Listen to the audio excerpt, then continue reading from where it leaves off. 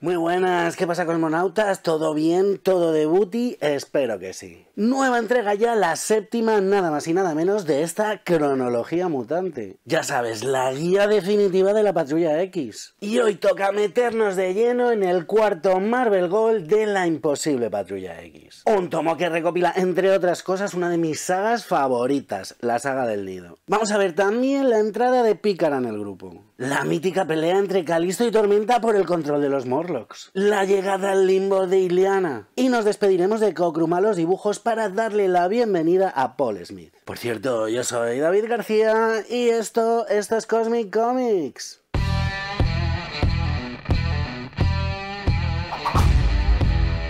Uno de los años más significativos, sin duda, para la Patrulla X fue el año 1982. Un año de expansión. Un año marcado por la salida de dos novelas gráficas, Los Nuevos Mutantes y Dios ama, el hombre mata. La primera serviría de prólogo y desembocaría en el primer spin-off de la franquicia mutante. La segunda supone, ojo, bajo mi punto de vista, la mejor historia escrita jamás de la Patrulla X. El éxito de la franquicia era total. Las ventas de la colección se disparaban en las librerías especializadas a lo largo de todo Estados Unidos. Y desde Marvel se decide apostar fuerte por el universo mutante. En este tomo llegamos a un punto de inflexión entre esa etapa primigenia más clásica con las grandes sagas y la llegada de la modernidad, lo que estaría por venir. Y es precisamente en este tomo, con la llegada de Paul Smith a los dibujos, donde vamos a ver esa modernidad, esa tendencia a la modernidad en su aspecto más gráfico. Las relaciones entre los personajes están totalmente establecidas. Chris Claremont tiene clarísima la hoja de ruta. Y la despedida de Cockrum que supone un antes y un después y un cambio de rumbo hacia la modernidad.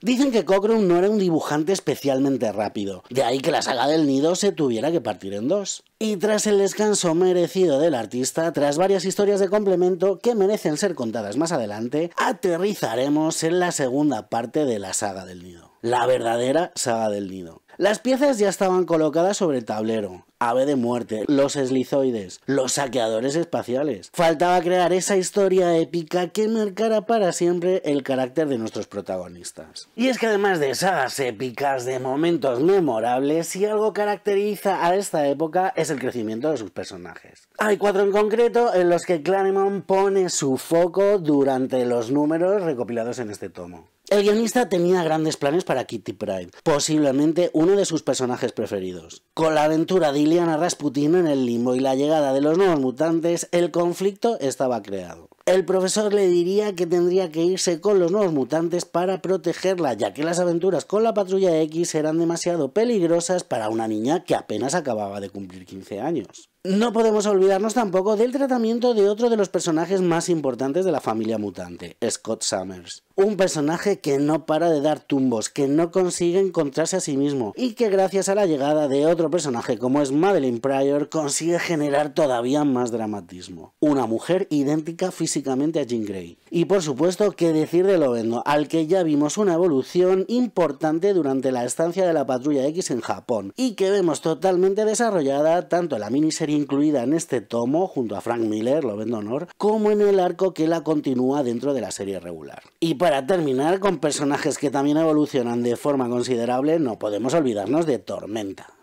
Ororo Monroe lleva ya tiempo sufriendo ciertos cambios a nivel interior, pero el enfrentamiento con Calisto supone toda una metamorfosis que se hace patente incluso en su nuevo look con el mohawk y la chupa de cuero. A lo largo de todos estos números, desde que Claremont se hace con el control de la serie, hemos visto de todo. Grandes sagas, momentos memorables. Hemos visto cómo los clacios entre los personajes crecían y se estrechaban. Pero si algo queda claro durante este tomo es la evolución individual de ciertos personajes. Por cierto, que si te está molando el vídeo, le puedes dar un buen like, te puedes suscribir si todavía no lo habías hecho, y ya sabes que si le das a la campanita, activas las notificaciones para poder estar al loro de todo el contenido que sacamos aquí en Cosmic Comics. Danos un like ahí de última gente, que lo vamos a agradecer. Los números recopilados en este tomo son una maravilla. Un auténtico antes y después dentro de la franquicia. En plena expansión y gracias a los equipos creativos, las personalidades de los personajes estallan. Las historias son cada vez más entretenidas. El entramado de personalidades crece y crece hasta formar un tapiz de historias cada vez más complejo. Y sí, el estilo de Paul Smith al dibujo anticipa una época más moderna, más acorde a los tiempos que corrían. Así que vamos a meternos en detalle, arco por arco, número a número, de este pedazo de tomo.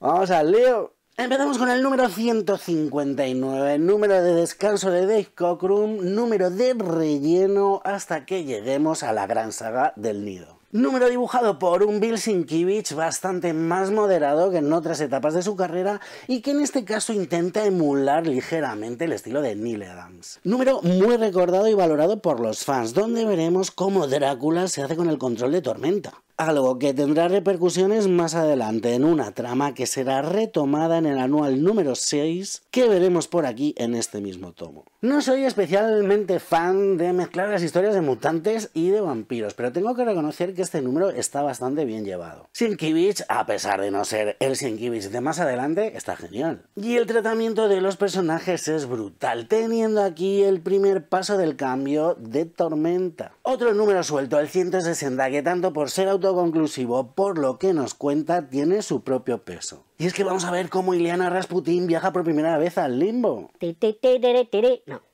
Seducida por los cambios de Velasco, tenemos un número que comienza la transformación de Ileana la niña en Magic. Además de las versiones futuras y pervertidas que la Patrulla X se encuentra de sí mismos en un juego narrativo en el que el tiempo fluye de forma no lineal, es interesante comentar el homenaje que los autores le hacen a Dave Sim, creador de Cerebus un cómic independiente al que hacen referencia en el personaje de Sim, un personaje que veremos más adelante y que tiene cierto peso en la franquicia. En todo caso, lo importante de este número, que no es poca cosa, es el cambio de Iliana mientras es rescatada por la Patrulla X. El paso del tiempo en el limbo es distinto y en esos instantes que están agarrando a Iliana los mutantes, bueno, para ella han pasado varios años. Todo lo ocurrido durante esos años en el limbo lo veremos más adelante incluido en una miniserie la miniserie Magic, que está incluida dentro del primer Marvel Gold de los Nuevos Mutantes. Y otro número autoconclusivo más, el 161. Y otro número de suma importancia, y es que vamos a ver en él el origen de Magneto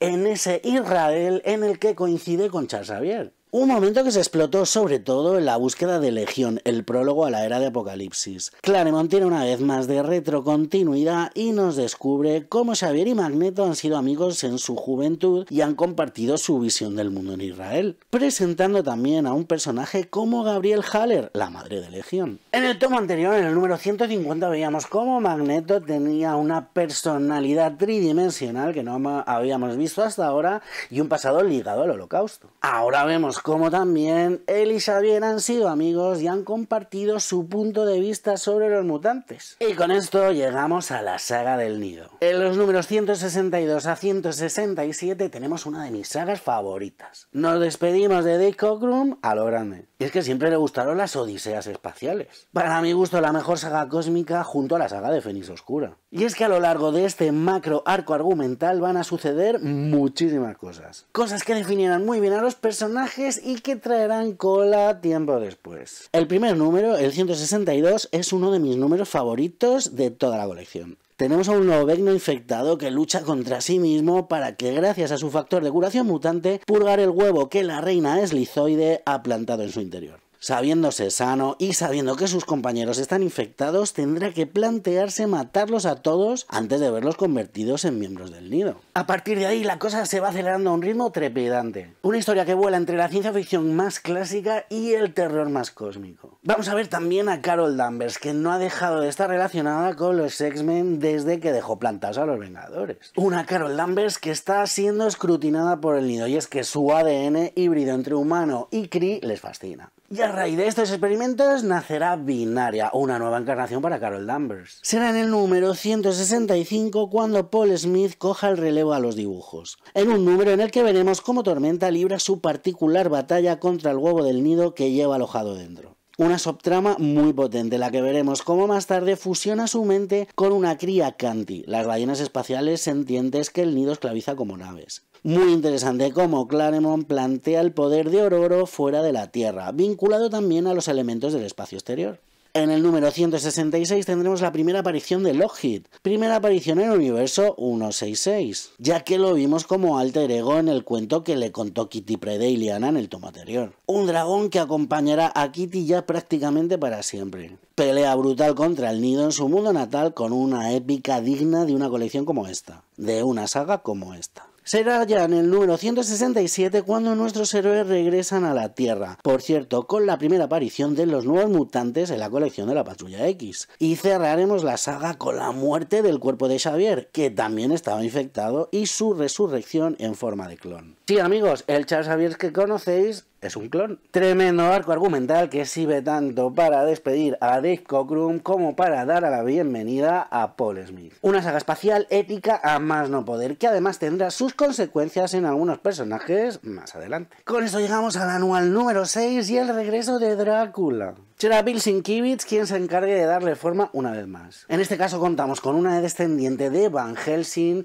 y retomaremos ese vínculo entre Drácula y Tormenta. Un anual bien escrito, bien construido y desarrollado, con base en el número 159 en el que Drácula tomaba el control de Tormenta. En este caso está muy bien contado el vínculo entre Kitty y Ororo, que se ve a sí misma como su segunda madre. Kitty será poseída por la hija de Drácula y tras una batalla con toda la patrulla X de por medio conseguirán destruirlo y destruir el vínculo que tenía con Tormenta. Sigo pensando que vampiros y mutantes están muy bien pero por separado. En todo caso, este anual está bastante guay, no me desagrada. Y es que además también sirve para poner un ladrillito más en la construcción de personaje de Tormenta y en los cambios que va a sufrir un poquito más adelante. Llegamos al número 168, también autoconclusivo. El profesor es un idiota. Número que tiene que ver con la decisión del profesor Xavier de que Kitty Pride, bueno, se vaya con los nuevos mutantes. Decisión que Kitty no entiende en absoluto y es que hará todo lo posible por convencer al profesor de que no la mande con los nuevos mutantes. Mientras el resto del grupo se lame las heridas tras la epopeya espacial contra el nido, Kitty hará todo lo que esté en su mano para convencer a Xavier de que merece quedarse en la patrulla X. Visto a posteriori, este conflicto parecería no tener tanta fuerza, pero en un momento en el que ya estaba anunciada el spin-off de Nuevos Mutantes, para el lector de aquellos tiempos tuvo que ser trepidante. Como dato curioso, y es que además es algo que va a influir mucho de aquí en adelante,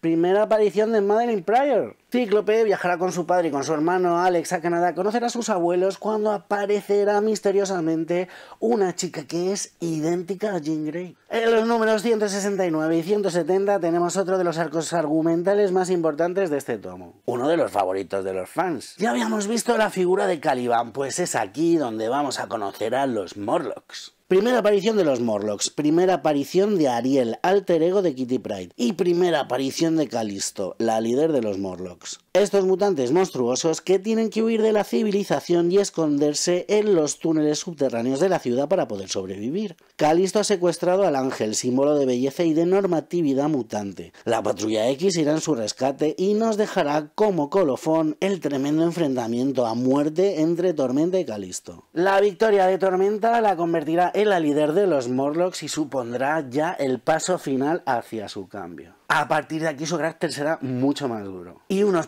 números más tarde cambiará incluso su indumentaria. Y más primeras apariciones, en este caso en el número 171 tenemos la inclusión de Pícara dentro de la Patrulla X. También será la primera vez que veamos la espada alma de Magic. Mientras Cíclope y Madeline Pryor empiezan a conocerse y hacer migas, con Tormenta ya sentada como líder de los Morlocks, Pícara huirá de la hermandad de mutantes diabólicos para pedir asilo y ayuda a la Patrulla X. Una Patrulla X que no la recibirá precisamente con los brazos abiertos. Cabe destacar el puñetazo que se lleva por parte de Binaria. Y tendrán que aceptar a regañadientes que Xavier quiera darle asilo y un puesto dentro del grupo. Es muy interesante en este punto ver cómo Xavier se muestra compasivo con Pícara, que hasta en ese momento, bueno, pues había sido una villana. El grupo protesta, protesta mucho, pero Xavier le recuerda el caso de Loveno que también mm, trajo ciertas suspicacias cuando ingresó en el grupo y que ahora es un miembro totalmente respetado y querido. Y hablando de Lobezno, tenemos que hablar del primer volumen de Lobezno, esta miniserie de cuatro números incluida en este Marvel Gold que es Lobezno Honor. Una miniserie que podría haber encajado muy bien en el Marvel Gold de a ser el primer volumen, pero que también encaja muy bien por la línea argumental en este Marvel Gold que estamos comentando hoy. Y es que todo lo que nos cuentan en esta miniserie será continuado en la serie regular de la Patrulla X. De la mano de Claremont y Frank Miller, que discutieron sobre la factura de esta miniserie a lo largo de un viaje a una Comic Con, vamos a ver, por ejemplo, en la primera página la mítica frase de soy el mejor en mi trabajo, pero mi trabajo no es muy agradable. ¿Idea de Claremont? ¿De Frank Miller? Probablemente nunca lo sepamos. Esta es una historia en la que se nota mucho la mano de Frank Miller, con mucho enfrentamiento de katanas. Y es que por lo visto es así como se lo vendió Claremont a Frank Miller, que en un principio no estaba muy convencido con un personaje como lo vendo. Se lo vendió, pues eso, como un Ronin. Y a Miller pues le hizo el culo pechicola. Números 172 y 173. Tras este pequeño parón que supone la miniserie de Lovendo Honor,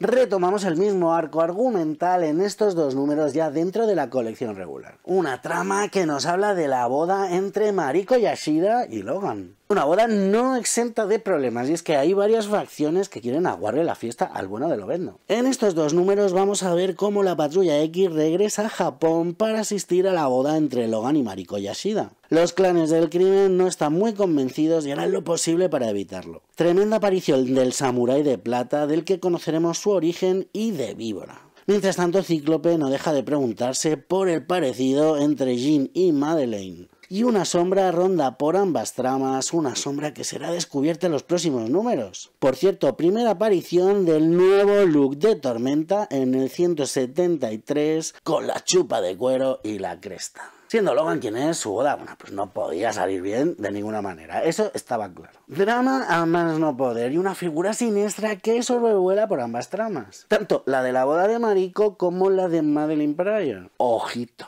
Y aquí llegamos a los dos últimos números incluidos en este tomo de la serie regular, el 174 y el 175, que es doble. Con el regreso nada más y nada menos que de Fénix Oscura. Dos números en los que vamos a ver cómo Mente Maestra vuelve a entrar en escena. Un Mente Maestra recuperado de su locura y que engaña a todos mostrando el supuesto regreso de Fénix Oscura. Es cierto que es un arco que suena un poco a clickbait. Sí, clickbait, porque ya se había especulado con la vuelta de Fénix Oscura anteriormente y que tampoco es cierto que vuelva en este caso. Una especie de reclamo en las portadas con esa imagen tan poderosa, pero por otro lado, bueno, pues es un arco bien llevado a cabo con un cíclope intentando convencer a sus compañeros que todo se trata de un embuste por parte de Mente Maestra. Un buen final para terminar este tomo que cuenta con un numerito más, que es el anual número 7, que vamos a ver ahora mismo. Y ojo, que el número 175 termina nada más y nada menos que con la boda entre Scott y Madeline Pryor. Una huida hacia adelante del personaje que, bueno, en un futuro va a lamentar y mucho. Bueno, ya para terminar este tomo, el anual número 7 un número muy divertido dibujado entre Michael Golden y Brett Belvins. Un número que nos llevará por diferentes lugares del universo Marvel en una especie de Scavengers Hunt, una gincana. Una historia protagonizada por el hombre imposible que llega a la Tierra a conseguir una serie de objetos que llevarán a nuestros protagonistas a perseguirlo por varios parajes, desde la Tierra salvaje al transporte de Shield y lo más divertido de todo, la verdad, el propio bullpen de Marvel, en el que vamos a ver a varios autores reflejados dentro de la propia historia. Un colofón muy divertido para un tomo bastante contenido. Una historia bastante loca que lleva a los personajes por varios escenarios y aprovecha para llevarlos a las propias oficinas de Marvel. Bueno, y con esto terminaríamos este cuarto tomo, este cuarto Marvel Gold de la imposible Patrulla X. Un tomo que cuenta con la gran saga del nido, con varios momentos memorables y con un tremendo desarrollo de ciertos personajes. Quizás esto último lo más importante. Ese crecimiento, esa evolución de personajes como Cíclope, Kitty Pryde, Tormenta o Lobezno. Y ojo, que el autor no deja de lado otros personajes, que vamos a tener también grandes momentos con Coloso, Rondador Nocturno o el propio Profesor Xavier. Sin olvidarnos de ese origen de Magneto ligado al propio pasado del Profesor Xavier en Israel. Y es curioso cómo encontrándonos ya en un cuarto tomo, en una etapa en la que Claremont estaba ya muy asentada, nos encontramos con bastantes momentos seminales, momentos de origen momentos que se verán reflejados más adelante en otras tramas. Y es que el lore de la Patrulla X ya no va a dejar de crecer nunca. De aquí en adelante ya no va a dejar de expandirse. Oye, un tomo que he disfrutado un montón y que anticipa ciertas cosas que vendrán tiempo después. Así que no se te ocurra perderte las próximas entregas de la cronología mutante. Y nada, que por hoy ya me despido, cosmonautas. Así que como siempre, ya sabéis, leer muchos cómics e intentar ser felices.